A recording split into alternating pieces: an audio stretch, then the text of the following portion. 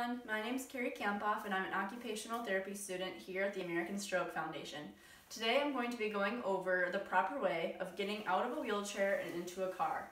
This is my dad, Denny. He's volunteering with us today, so I appreciate all of his help. so first things first, we're going to be putting on a gait belt. If you haven't done this in a while, it's important to lace the belt through these teeth right here, because that's what's going to help you get it tight. So lean forward, please. We're going to wrap this around his back. Thanks for lifting up your arms. And then you're going to lace this through those teeth. You may need to pull it around. And then make sure you're pulling it nice and tight. Is that okay? Good. And then we're going to lace it through this loop right here. And it's important to use a gait belt for two reasons. One, you don't want to be lifting underneath their arm because you have a cluster of nerves here called the brachial plexus. So if we're pulling on that area of the body, that could damage those nerves and affect your arm's function. And then second, when we're grabbing from down here near the waist, you're more closer to the person's center of gravity, and there you can have a greater control over their movements. Whereas if you're grabbing by the arms, you don't have as much control, and it can be more of a fall risk. And if you don't have a gait belt at home, you can always grab from their pants or a belt that they have on their clothes. Alrighty, so now we're gonna practice getting into the car. First things first, open up the door and move the seat backward as far as it can go so you have lots of room to move around. Next, we're going to remove the footrests here. You put your foot down, thank you. And then you can put them wherever you want. I'm just gonna throw them in the back seat now. Just make sure they're out of the way and not a tripping hazard. So next we could lift your feet up, thank you. We're going to get either at a 90 or a 45 degree angle to the car, so you can get as close as you want. Then we're gonna lock the brakes. And the most important part with the angle is you don't wanna have the wheelchair angled directly towards the car because then they'll twist their knees when they're trying to move. So first things first, make sure that your brakes are locked once you're next to the car. So now we're gonna stand up. So as the caregiver, I'm gonna make sure that I'm pushing up with my legs and try not to bend your back as this is gonna potentially cause a back injury. And then for you, Dad, first things first, I want you to get as far forward on the wheelchair as you can. Just mm-hmm. slide forward. Good. Do you feel like you're all the way forward, or can you get a little bit further? I don't think without tipping. Okay, then we're good to go.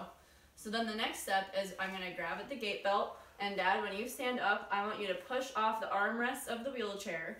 And then when you stand up, grab onto a hard surface of the car. So you can grab on right here or onto my arm, but try to avoid grabbing onto the door as much as you can as that is gonna move around. And as caregivers, you can also place your leg near their knee to block their knee just as another extra precaution. Are you ready to stand up? All right, so you're gonna push off the armrest. And we're gonna do three tilts forward and we're gonna stand up on three, all right? One, two, three. Great job. Put that hand on my arm. There you go, that's okay. All right, and then we're gonna take some small steps and turn your hips around. You can grab onto my arm with your other hand if you'd like. There you go, good. Yeah. Good. Now you can start going down. I'm going to make sure he doesn't hit his head with my hand here. You're good. The, the seat is right there, so you can bend down. Good job. A little bit over. There you go. All right. Do you need help with your legs? Perfect job. So we also grabbed on with this little grab bar here and that's another great device that you can use to get in. How do you think that went, Dad? I think it went well. An adaptive device that can be used to make a car transfer a little bit easier is a car cane. All you do is place this pointed gray end in the hinge on the inside of your car door. Then you simply place your hand on the car cane and push up. This serves as a very solid base of support and can help give you a little bit extra balance in this transfer.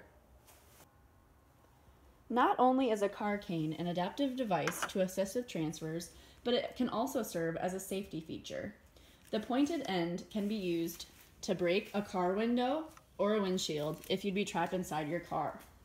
In addition, there's a blade at the bottom that can be used to cut your seatbelt off in a time of emergency.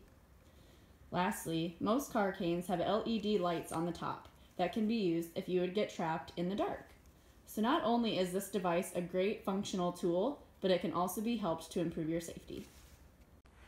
Thank you for watching, and if you have any questions, log on to americanstroke.org. Have a great rest of your day.